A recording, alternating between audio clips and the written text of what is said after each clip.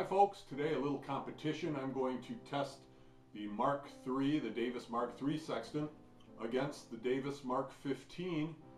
Both plastic sextants, uh, significant price difference. We will see if there is a difference in accuracy.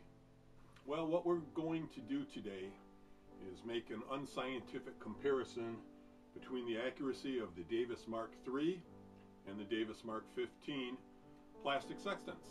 Of course, the first thing you do is you make the adjustments to your sextant to eliminate as many errors as you can. One, I sight on a tree in the distance and uh, gets pretty close.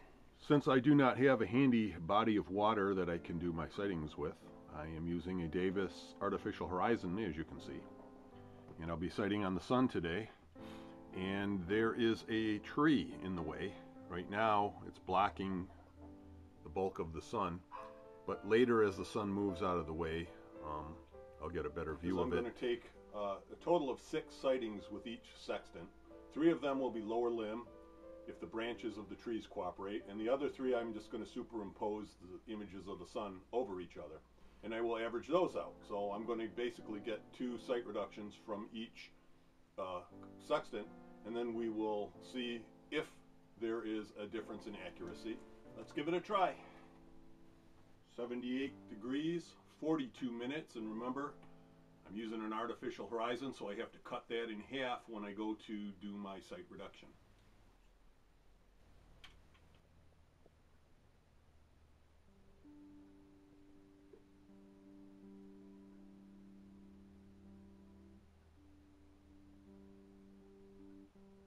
Hope this is visible.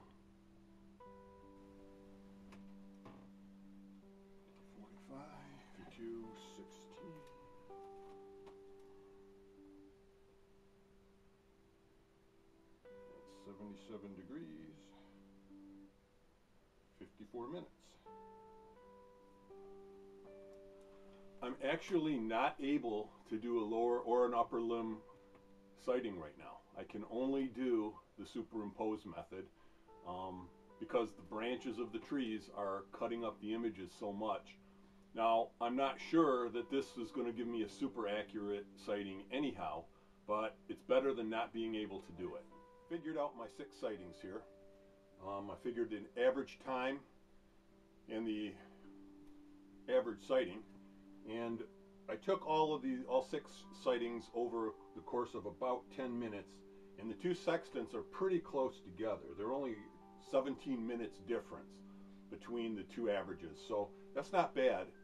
And it's close to noon, so the sun's not moving a lot right now, and that sounds about right. We're probably within 20 minutes of noon, so I'm going to go ahead and plot these and I will come back and show you my results. So there are the final results plotted out.